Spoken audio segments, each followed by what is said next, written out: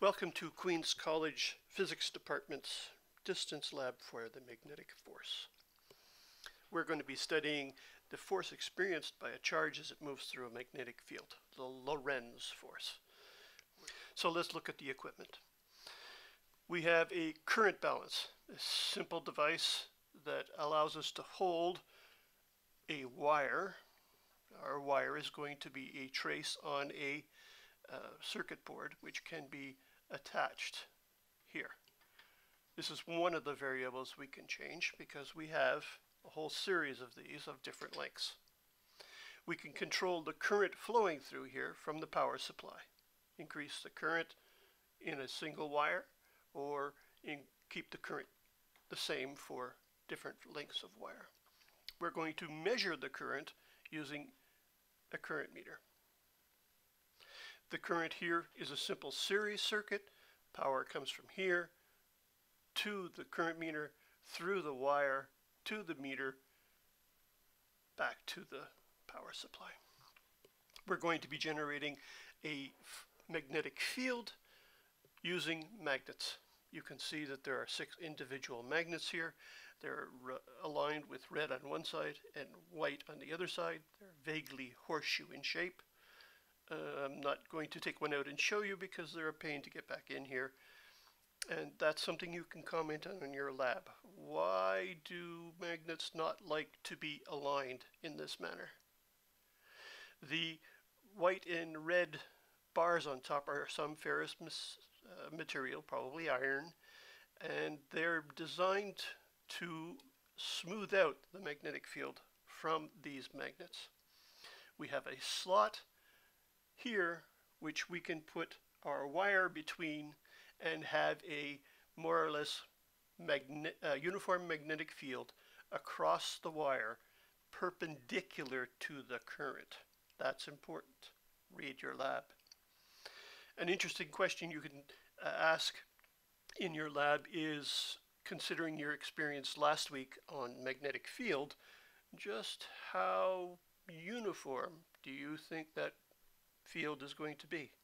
We have no way of knowing. We can't measure this. That's why we're going to be always calculating the magnetic force. So I put this here, slide it over here, make sure that the wire is centered between the poles of the magnet. And now the question comes up is how are we measuring uh, the force generated by this setup? Well, we have a scale, it's reading mass. Uh, it's currently reading all of the mass of the yoke and the magnets, and we don't care. So let's remove that from the equation. There. Now, when I run a current through here, if there is a force generated by that current in that magnetic field, by Newton's third law, you're going to read it here as a mass. As a mass not a weight. You have to calculate the force. Not only do you have to calculate the force, you have to be sure about your units. Because if you want your magnetic field in Tesla, this can't be in grams. And that's it. We're ready to go. So I'm going to turn on my power supply. And there you have your first reading. I'll give you a second to do it. And then I'm going to increase it. And there you have your second reading.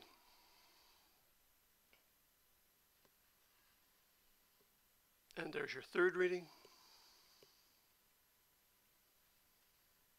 Here comes your fourth reading.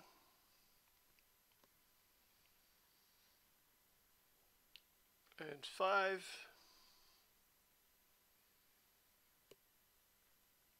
And 6 and 7 and 8 and 9 and 10. Off. There, that's the first procedure. You can now take that data and follow the analysis laid out for you in the online man manual. The second procedure is uh, varying the magnetic field by varying the magnets. Now there is a problem here. Uh, we're supposed to be keeping the current um, uniform here, fixed. But because this is not a constant current supply, all I can do is jiggle the voltage until I get a current I want. It won't be exact.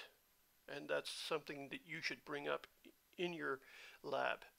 Uh, just how big an effect does that small variation in current have on the results of this procedure?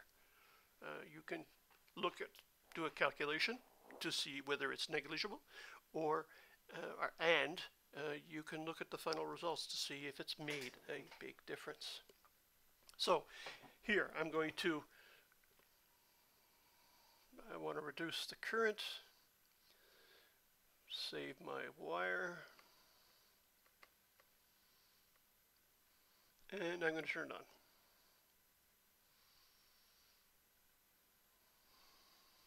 And there you go.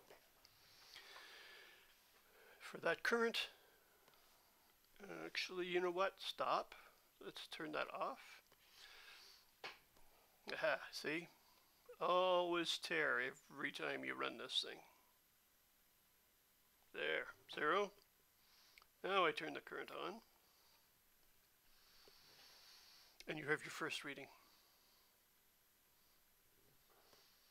Now I'm going to turn the current off. I'm going to pull the magnet. I'm going to slip one of the magnets out. I know it says two in the manual, but you know what? I'm going to do one at a time. There.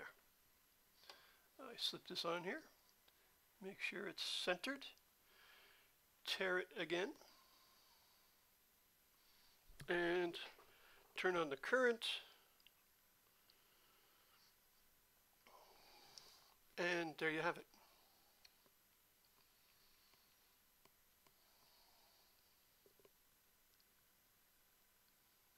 Shut it down. Pull the yoke. Pull out yet another magnet. Center it.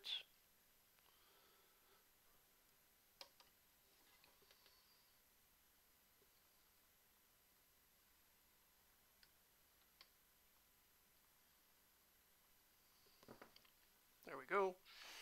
Tare this.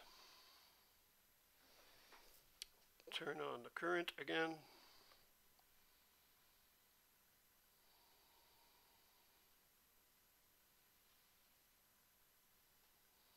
Turn it off.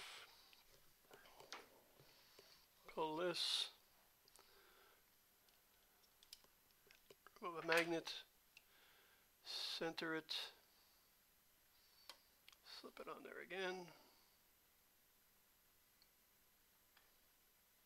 Tare.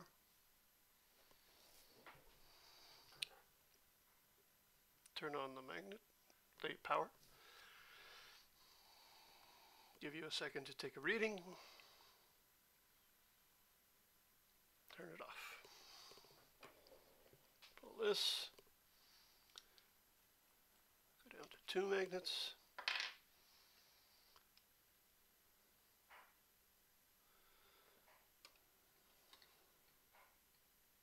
Center it, tare,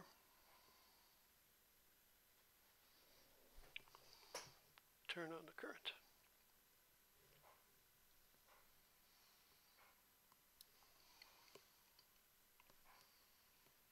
And off. And I'm stopping there. I'm not going down below two magnets because if you had concerned about the uniformity of that field when there were six magnets in there, if I go down to one magnet, it's going to be silly. So now I have to put those magnets back. Okay, now we're ready for procedure three. In this one, we're going to vary the length of the wire. That means changing out these circuit boards for the same constant uh, magnetic field with the six magnets restored and I'm going to keep the current also constant. Unfortunately, that's not so easy to do. Again, something you can comment on in your lab. Uh, we're ready for the first one. Tare. And turn on the current.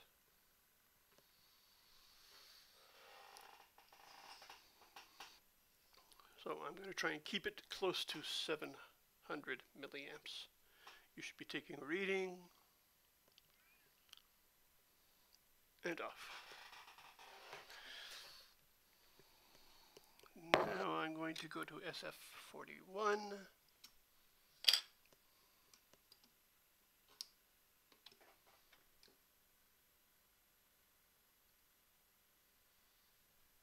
Tare it. On 722. I'm going to leave it there. Take your reading and off. And now next is going to be,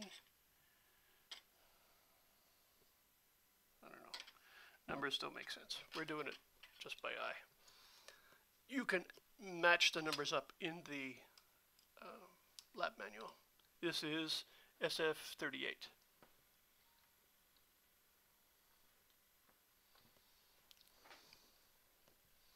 Ready to go. No, we're not. Now we're ready to go. On. 761, I'll try and bring it down a little bit. There you go. And off. Next one is SF39.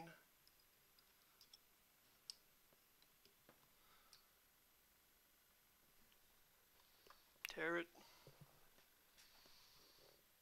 Tare it again. And turn the current on. Turn that down a little bit. There you go. And off. Next is SF37.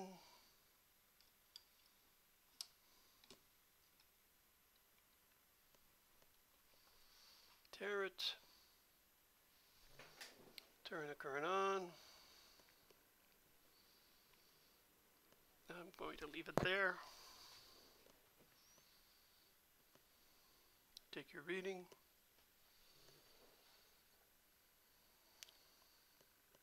Off. And finally, the very shortest one, which is SF40 for some reason.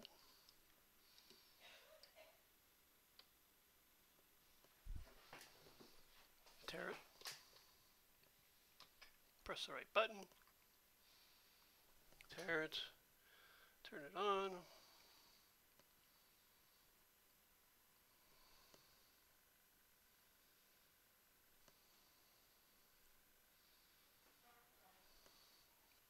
Best I can do.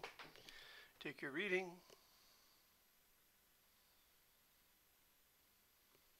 Uh, better wait, hold on a second. Off.